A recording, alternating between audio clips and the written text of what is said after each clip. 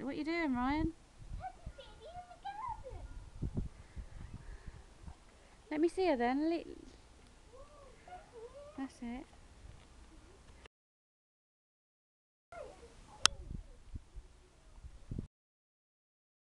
That long though, because the sun's left the garden already.